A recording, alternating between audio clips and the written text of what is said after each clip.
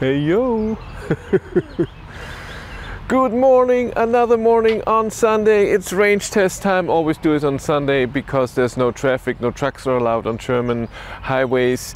And last week was Easter weekend. This weekend is nothing special. And I see it already on the parking lot and on the way here that it's less traffic. That's always awesome. This is the Polestar 2 all-wheel drive performance so it has a stiffer suspension than a normal all-wheel drive we have 350 kilowatt with the same battery as the single motor version that i tested last week so 82 kilowatt hours 79 kilowatt hours can be used so these are different motors and i'm pretty sure i cannot get the range that i got with the single motor last week where I got 383 kilometers. We'll see what range we get today. It's also a tiny bit colder. I would say it's around 8 degrees. Um, but wasn't it around there too? I can't remember. I had needed the heat to get here, but it was the same last week too. And I'm gonna charge to 95% as always, because I plugged in at around 58. I only get 80 kilowatt. Now it's 60 kilowatt at 76%. It's not amazing because the battery is not perfect temperature and it doesn't heat it up and you cannot heat it up with buttons and it says to 100% it's an hour and I'm not gonna wait an hour for the last 5% because the last 5% can take 20, 30, 25 minutes, something like this. And uh, I think those 5% are fine because we're still gonna calculate it and we're here right on the highway. Gonna drive on the highway drive gps speed 130 and then arrive at the charger ionity charger on the other side. By the way one ionity charger here is stuck. It says uh, uh, it wants to authorize a card and it's thinking and thinking and thinking and there's no button to reset it. At 80 percent 43 kilowatt. That's not amazing. And here is the charger that doesn't work it just does this and this. If I press stop, nothing happens. And we have a lot of flower stuff. What is it? Pollen on the car. Needs to be washed. Big time. Needs to be washed big time. Beautiful car. Drives amazingly when you want to drive sporty. Drives horrible if you like it comfortable.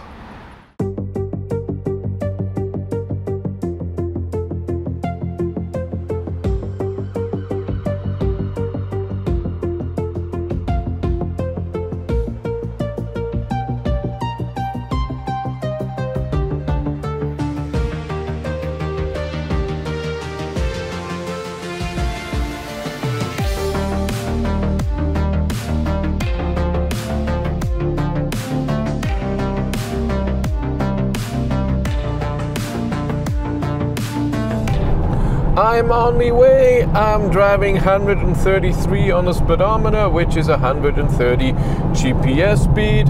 I just started. I charged to 90% because it said from 90 to 100% 40 minutes. That's too long. Who has the time for something like that? No, that's just way too long. That's, oh my God. And my consumption right now, we, we look at the left number here. Um, it only 12 kilometers is high because the first 10 kilometers are uphill as always. My god this car is bumpy. Uh, but uh, driving is nice. I still have the heat on on 22 degrees because it's a bit cold. Um, but at some point I'm pretty sure I will turn off the heat. It's 12 degrees outside. Everything is fine. Uh, yes nothing more to say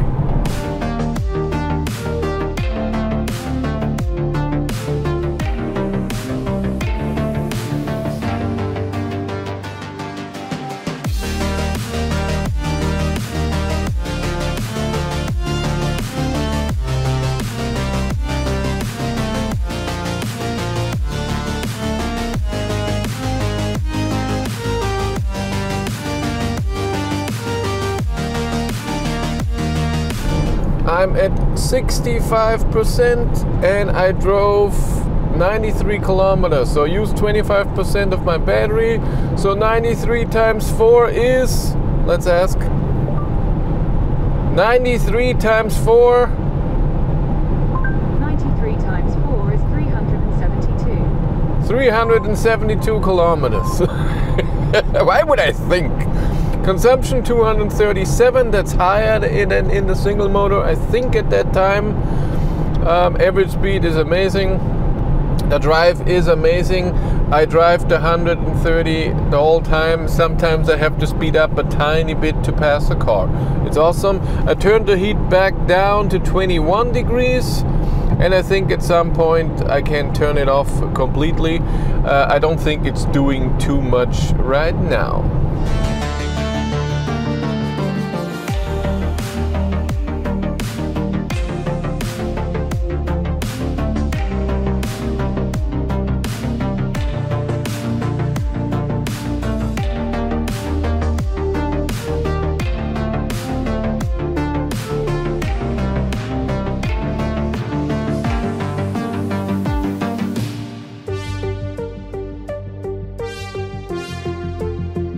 I'm at 40%, so used 50% of my battery and I drove 176 kilometers, which is 352. So the range went down from 372 to 352.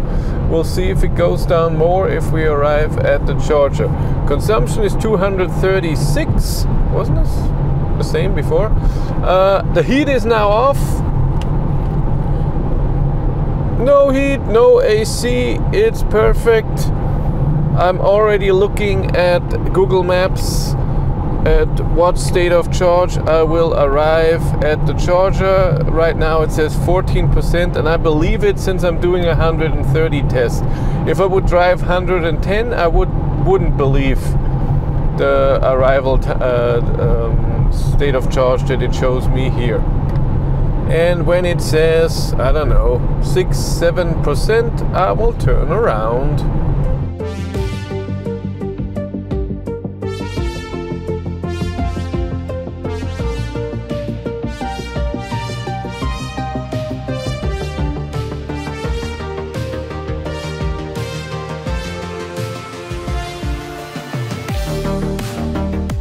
Now I navigated back to the charger because suddenly it went from 12% to 6 uh, and possible that the next the next exit was just so far away and it's I don't know 20 kilometers more or so and so uh, but um, uh, it says I arrive now with 70% and usually the way back I have a bit less consumption so I, I, I guess this will get even higher the state of charge where I arrive.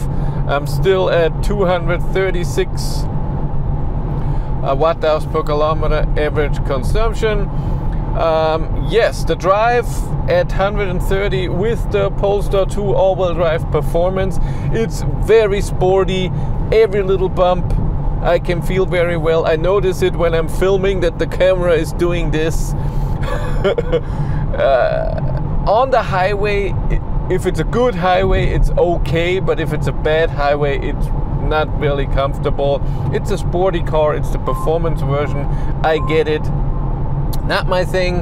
I like it comfortable, but uh, that's some people like it, and that's okay. Noise level at 130 is totally fine. Uh, I notice two things. One, when you I'm listening to a podcast and uh, it's possible I can adjust it, but I couldn't find it quickly is the volume change when you drive faster because I notice when I drive faster I have to turn it up a bit and then when I drive slower I have to turn it down so it's not doing it the volume increase when you drive faster too well. Uh, it's just possible that there's a setting somewhere and haven't found it yet so that's fine. The other thing is it happened again with this Polestar 2 it happened with the single motor as well. I was driving with the self-steering. There was an exit like now into this uh, um, parking on from the highway and it steered into that parking thing into the exit so and very strongly so i was i was paying attention and i was i had my hand on the steering wheel and whoop it went in and i was ah! that was i could hold it back it's no problem but that was scary and I had it in the other Polestar 2 and I had it way back with the Volvo XC40 I didn't have it again with others uh, Volvos. I don't know what happened. And again, like I said, it doesn't recognize my touch. Um, I still don't know if it's because of touching or because of steering. I tried just steering here, so not on the steering wheel, it's uh, on the outside of the steering wheel, and it recognized. So I, am now I'm tending more to that it wants steering. I thought more before it was touch, so if I have to hold it harder, but it's it's always hard to find out on the highway because when you hold hard, um, you're also holding the steering wheel, and if the car wants to go in a different direction, then it notices, hey, you're steering somewhere else, you're here. So that's always hard to know. You have to ask people. He already at eight percent, but other than that, the cruise control is fine. Uh, again, I'm not the fan of if I set a speed at the cruise control that when it's downhill it drives faster. On the country road, um, I don't want to drive faster than 110. And if it's downhill, I have to put the cruise control speed to 107. And in 90% other cars, you can set it to 110 and it won't go over. But this car does and I don't like that at all because then when it's straight it's doing 107 and not the 110 that you want so either you adjust it or you drive to slower speeds eh, that's not my thing but it's a uh, in the power drive video you will see I did that yesterday it is very powerful and it's amazing in corners. Yeah whatever. I'm annoying here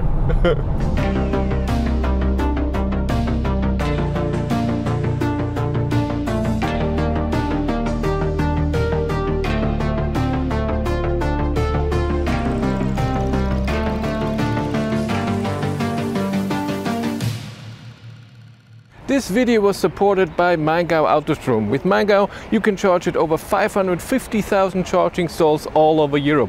And you can use this tiny little chip that's amazing to have on your keychain. I love it very much. It's so easy, don't have to go into your pocket or anything. You have it on your keychain. If you want to know more, there's a link in the description below. I arrived with 9% drove 285.1 kilometers. Google Maps says it's 288. Consumption 229 watt hours per kilometer. When I take the 288 kilometers and the 81% use out of the battery, I get to 355 kilometers of full range today at this drive, which is amazing because the single motor did 383. So that's 28 kilometers. What is that? 8%, 7% less for an all-wheel drive performance, I think that's pretty good. Good consumption, good range. Um, I'm charging now a bit I got 209 kilometers, uh, 209 kilowatt right uh, in, the beginning, but it went down to 180 kilowatt pretty fast. It's the same charging curve. I made a video then with the Volvo XC40 C40, the new battery, the 82 kilowatt hour battery. It's all the same and it's pretty good.